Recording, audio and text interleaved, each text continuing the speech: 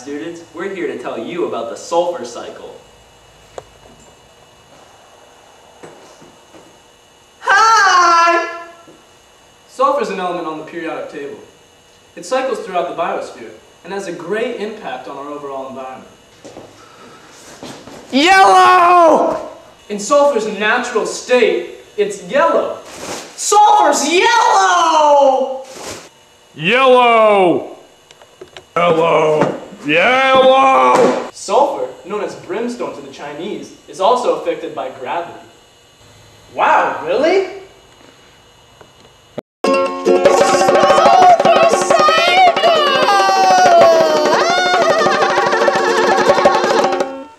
There are many contributing factors to sulfur in the environment. One of these is volcanic eruptions.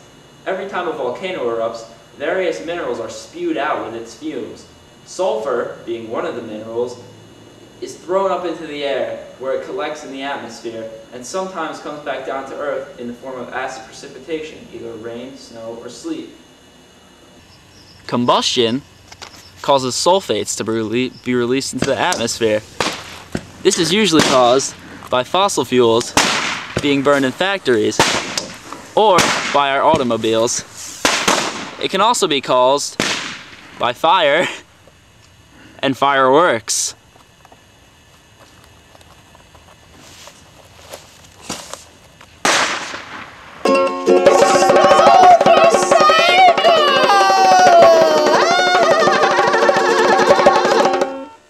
We're here at the bottom of the ocean because sulfur deposits here after acid precipitation. The sulfur comes down to the bottom and builds up as sediment, where it is then put into the soil by microorganisms.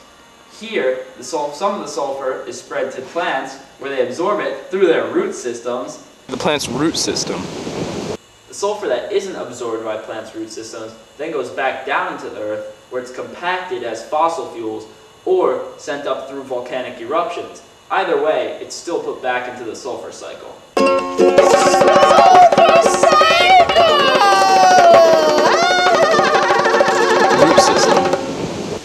Must be wondering why we're here in the woods right now.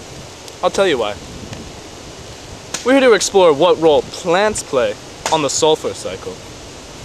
Let's go find ourselves a plant.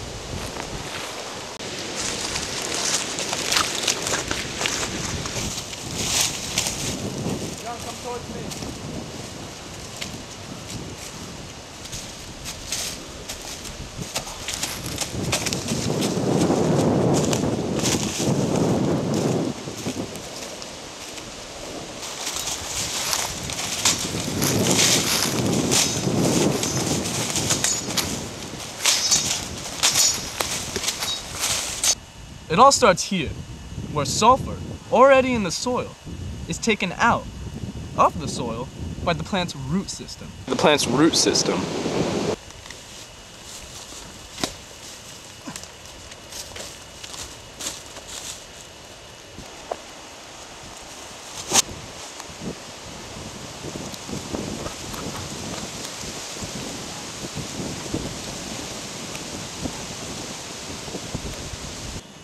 Up into the rest of the tree, where it stays in the, until it dies.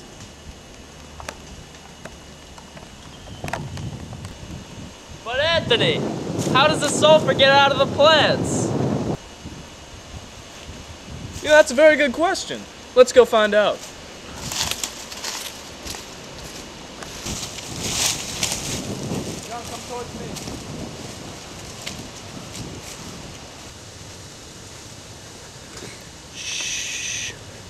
This is where it's happening.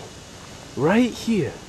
This fungus, with the help of bacteria, are decomposing this tree as we speak. Once the plant's finished decomposing, all the nutrients and minerals once inside of it are returned back into the soil. That includes the sulfur that was taken out by the plant's root system.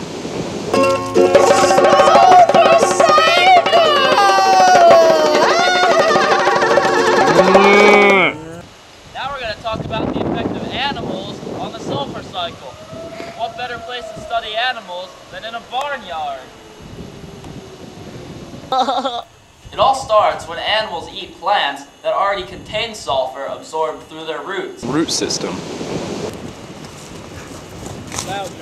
Mmm, got sulfur? So once the sulfur is in an animal's system, how does it get out? Well, this happens in a few ways. One way is when the animal defecates, some sulfur is expelled through the feces. feces.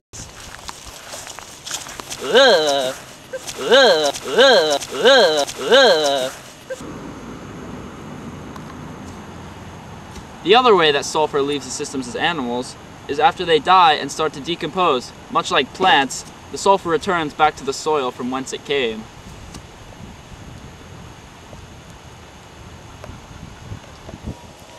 So pretty much, the animals involved in the sulfur cycle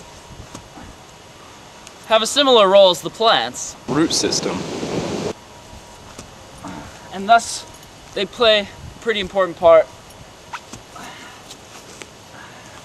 and have a pretty great impact on the sulfur cycle overall.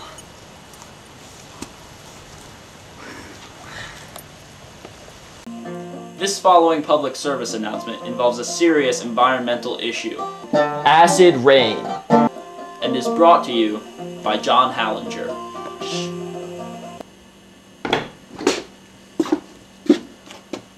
So you're driving home in your new H3. You get home, you open the door, the garage door, a few times. Get inside, you turn on all the lights bathroom, kitchen, bedroom, basement, attic, all the lights. So after that, you open the refrigerator, leave that open, turn on the oven, do a few loads of laundry, turn on the hair dryer, flush the toilet a few times, use all the outlets, the list goes on. You, you, turn on your heat, turn on your AC, all the, all the necessary things for comfortable living. You, you might as well micro, microwave yourself a, a burrito at that point. This is all fun and games, right? Wrong. Using a lot more electricity than necessary. You might want to think where this electricity comes from. Electricity comes from factories. These factories burn fossil fuels. In the combustion of these fossil fuels, many harmful pollutants are spewed into the atmosphere. One of them is sulfur dioxide. Sulfur dioxide contributes heavily to acid precipitation. Don't use unnecessary electricity. Don't drive a Hummer. I'm melting! I'm melting! No, but seriously, acid rain contributes heavily to the destruction of ecosystems, especially aquatic ecosystems. You see this? This fish was the victim of extremely low pH in his water. Acid rain causes the pH to lower to levels so terribly harmful that so many organisms are affected and they can't live in the water like that especially ponds, lakes, and streams, because their water content is so much lower than that of the ocean. Although acid rain is a big problem, there are some measures that can be taken to lessen its effects.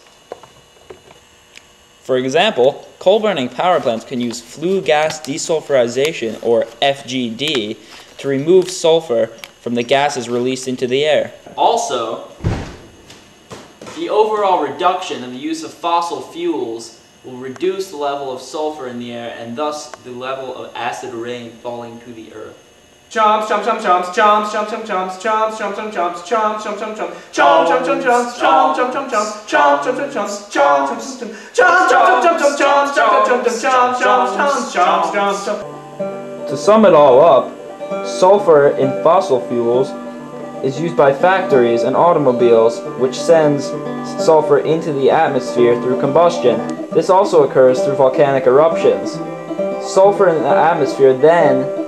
falls down to Earth through acid precipitation. It goes down to the bottom of the ocean, which takes thousands and thousands of years and collects as sediment. This sediment, which is also spread to the soil through microorganisms, is taken up by plants through their root systems. Root system. Plants, and also in turn animals, obtain the sulfur and spread it back into the earth through defecation or decomposure. This occurs very quickly compared to the sediment because animals and plants have fairly short lifespans.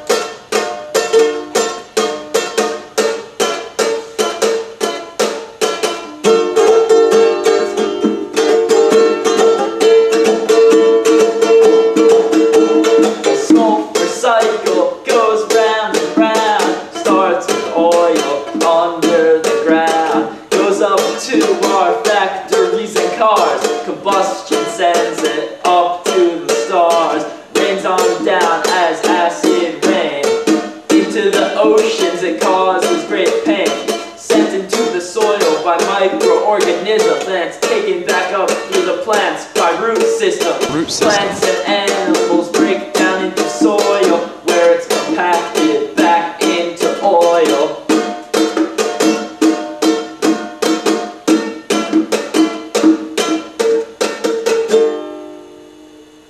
And volcanoes.